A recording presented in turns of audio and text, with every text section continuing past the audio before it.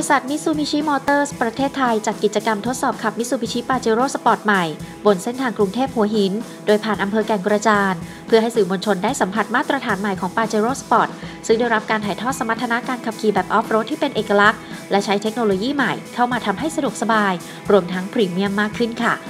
ห้องโดยสารออกแบบหรูหราประณีตพร้อมด้วยอุปกรณ์อำนวยความสะดวกครบครัน เริ่มจากเทคโนโลยีการเชื่อมต่อ และควบคุมการใช้งานด้วยจอแสดงข้อมูล กับการขับขี่แบบ LCD ขนาด 8 นิ้วใหม่ ที่ง่ายต่อการอ่าน มีการแสดงผลมาตรวัดความเร็ว วัดรอบเครื่องยนต์และข้อมูลอื่น ๆ ของตัวรถ พร้อมกับแสดงสถานะของระบบช่วยเหลือผู้ขับขี่ ที่ปรับเปลี่ยนรูปแบบหน้าจอได้ 3 แบบ รองรับเมนูภาษาไทย สามารถเชื่อมต่อและแสดงข้อมูลจากจอระบบสัมผัส SDA ขนาด 8 นิ้ว จึงไม่ต้องละสายตาจากจอแสดงข้อมูล อีกทั้งยังรองรับการเชื่อมต่อสมาร์ทโฟนและ Apple CarPlay ใช้งานง่ายเพียงปลายนิ้วสัมผัส และสั่งงานด้วยเสียง รวมถึงกันชนขนาดใหญ่และแผงกันกระแทกด้านล่างบันไดข้าง ติดตั้งในตำแหน่งที่สูงขึ้น เพื่อเพิ่มสมรรถนะเมื่อต้องลุยบนเส้นทางออฟโรดโดดเด่นมากขึ้นด้วยไฟท้ายดีไซน์ใหม่เสาอากาศแบบครีบฉลามและล้ออัลลอยสีทูโทนขนาด 18 นิ้ว การออกแบบด้านหน้าแบบ Advanced Dynamic Shield เอกลักษณ์ของ Mitsubishi Motors ดูทรงพลังสง่างาม กับชุดไฟหน้าแบบ Projector Bi-LED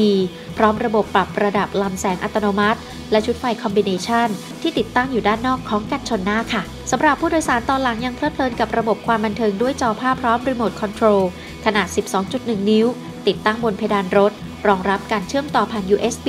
และสมาร์ทโฟนผ่าน HDMI นอกจากนี้ยังปรับปรุงใหม่เพื่อเพิ่มประโยชน์ใช้สอยและความสะดวกสบาย มาถึงการทดสอบขับค่ะ เริ่มต้นที่ร้านอาหารย่านสาทรในช่วงแรก มีระยะทาง 180 กิโลเมตร มุ่งหน้าสู่อุทยานแห่งชาติแก่งกระจาน ผ่านการจราจรที่หนาแน่นในเมือง และสภาพถนนที่กำลังก่อสร้างย่านพระราม2ได้เปิดโอกาสให้ลองใช้ฟีเจอร์ใหม่ ทั้งระบบเบรกมืออัตโนมัติ และระบบเบรกอัตโนมัติเมื่อจอดอยู่กับที่ ระบบสัญญาณเตือนจุดอับสายตา พร้อมระบบส่งสัญญาณเตือนขณะเปลี่ยนเลน นอกจากทดสอบสมรรถนะเครื่องยนต์ดีเซลขนาด 2.4 ลิตร ให้กำลัง 181 แรงม้า และแรงบิด 430 นิวตันเมตร พบว่าอัตราเร่งตอบสนองดี และต่อเนื่องด้วยเกียร์อัตโนมัติ 8 สปีด และเมื่อถึงอุทยานแห่งชาติแก่งกระจาน ขบวนเข้าสู่เส้นทางออฟโรดธรรมชาติระยะทาง 9 กิโลเมตร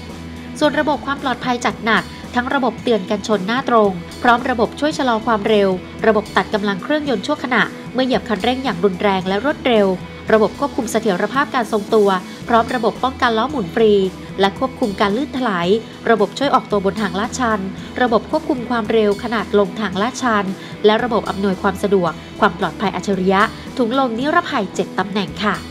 สำหรับสถานีทดสอบแบบออฟโรดยังเปิดโอกาสให้สื่อมวลชน ได้ใช้ฟังก์ชันกล้องมองภาพรอบคัน ซึ่งจับภาพแบบ 360 องศารอบตัวรถ และแสดงสิ่งกีดขวางจากมุมสูง พร้อมเส้นกะระยะ และเส้นแสดงทิศทางการเคลื่อนที่ของรถ อย่างไรก็ตามหลังจากหยุดพักที่อุทยานแห่งชาติแก่งกระจาน เพื่อเช็คสภาพของรถที่ลุยฝ่าน้ำฝ่าโคลนตลอดเส้นทาง ทุกอย่างนั้นปกติดี ให้ความมั่นใจด้วยระบบตัวช่วยที่มีใน Pajero Sport ใหม่ ออกเดินทางต่อสู่จุดหมายที่อำเภอหัวหิน บนระยะทางอีก 100 กิโลเมตรค่ะ นอกจากอุปกรณ์อำนวยความสะดวกและฟีเจอร์ใหม่ Mitsubishi Pajero Sport ใหม่ ยังมีอีกหนึ่งจุดเด่นสำคัญ นั่นก็คือประตูท้ายเปิดปิดด้วยไฟฟ้า พร้อมสั่งงานด้วยระบบ hands-free ทำงานร่วมกับระบบ Mitsubishi Remote Control ผู้ขับขี่สามารถสั่งงานเปิดปิดประตูท้ายผ่านสมาร์ทโฟน และสามารถตั้งค่าให้เปิดหรือปิดอัตโนมัติ เมื่อผู้ขับขี่เดินเข้ามาใกล้ หรือเดินออกห่างจากตัวรถ นอกจากการสั่งงานเปิดปิดประตูท้าย ระบบ Mitsubishi Remote Control สามารถแสดงข้อมูลเกี่ยวกับสถานะตัวรถ ข้อมูลการใช้งาน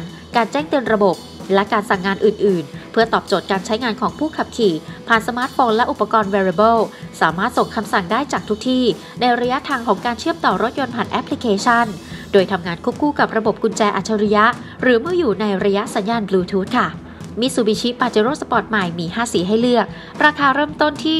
1.299 ล้าน ถึง 1.599 ล้านบาทค่ะ